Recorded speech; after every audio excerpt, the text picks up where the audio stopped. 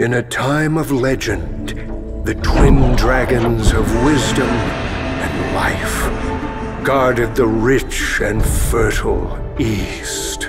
Bountiful as it was, it begat the desire of the ravenous Helios Empire that laid onslaught upon this land.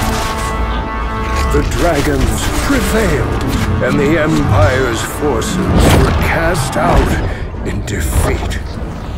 But a priest of Helios left a terrible curse of endless sand upon the land. Its people were left with nothing but desolation and hunger. In a noble sacrifice, one of the dragons gave its body to restore the land, turning into the mountains that climbed and the rivers that flowed. The other dragon gathered all its might to mold an impregnable barrier, then vanished without a trace.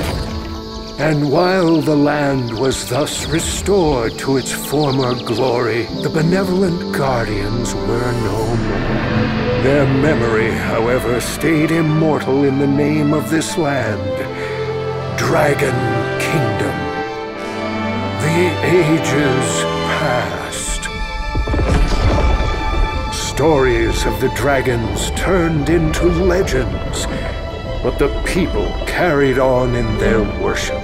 Each year, a festival known as the Day of Blessings was held. Tributes were made to honor the dragons that gave life to the kingdom. Their favor promised a gentle sky and a rich harvest. But during this year's festivities, something was amiss. Across the border, Helios loomed with its relentless gaze. And within, the imperial family was in bitter strife. Princess Yue and Prince Ji each saw the Day of Blessings as an opportune time to claim the throne. They each called to arms and raised their troops.